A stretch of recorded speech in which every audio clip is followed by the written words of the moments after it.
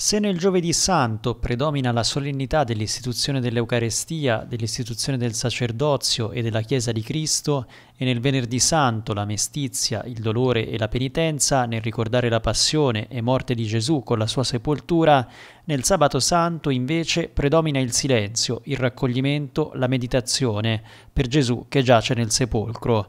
Poi verrà la gioia della domenica di Pasqua con la sua resurrezione, ma nel sabato incombe il silenzio del riposo della morte. In questo giorno, nella diocesi di Arezzo Cortona San Sepolcro, l'arcivescovo Riccardo Fontana presiederà alle 9 del mattino l'ufficio delle letture e le lodi nella cattedrale di Arezzo.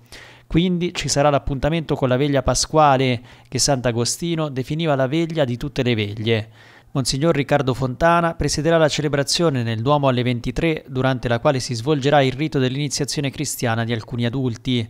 La veglia sarà trasmessa in diretta dalla nostra emittente.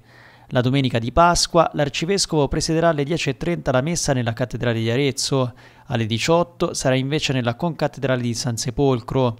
Infine, martedì 18 aprile, l'arcivescovo Fontana sarà nella concattedrale di Cortona alle 17.30 per la processione del Cristo risorto.